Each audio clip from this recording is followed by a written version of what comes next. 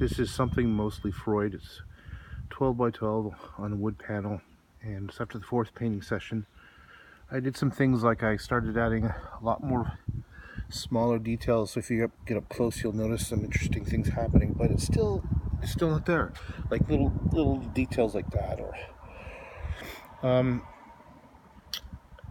and during the process of doing this fourth painting session, I, I raised his nose up a bit and I kind of, um, not sure if I like it, but I, I, I uh, softened this area. So I think I might go back and, and, uh, I'm not sure, lower the nose.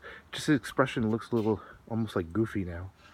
But, uh, yeah, I'm just going to go in and I want to make it so that all the brush strokes are, are nice. Like those are nice brush strokes right there. Oops those two and then